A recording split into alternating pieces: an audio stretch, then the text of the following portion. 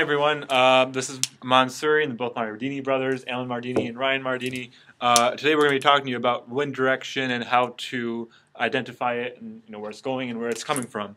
So right now we're about to draw, uh, for example, if uh, the wind is coming from the southwest, you're going to draw a line in between you know the southwest area.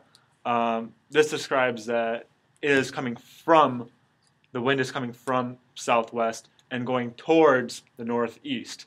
So Ryan will draw an arrow where it's going towards, and the green represents where it's coming from. So when you see a line like that, the green line, uh, that indicates it's coming from the southwest, and the arrow, um, normal arrow shows it's going towards. So um, you know, it, doesn't, it seems pretty simple.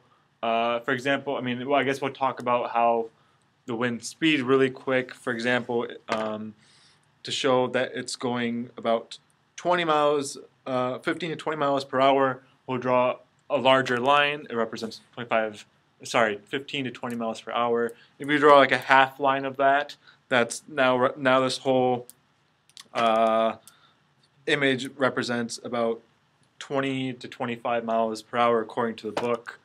Um, and this is how this is one example, and we'll show you more of how to identify a wind direction. For the last clip, we showed the winds going from the southwest to the northeast. This clip, we're going to show, Alan and I'm going to show the winds going from the northwest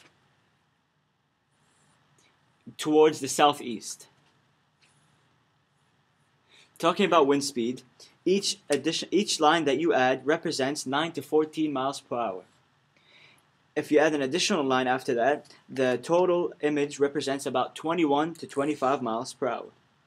If you add a third one, the whole image wind speed represents 32 to 37 miles per hour.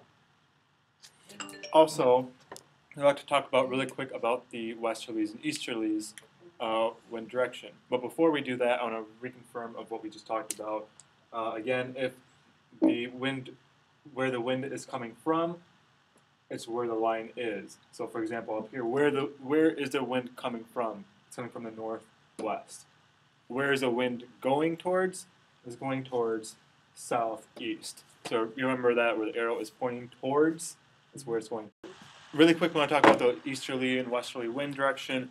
When we say westerly, it's going towards the west. So we're going to put a direction over here. So whenever you hear westerly winds, it's going towards the west. If you ever hear easterly winds, it's going towards the east. So you have to remember that when you hear that type of definition, it's just where it's going towards.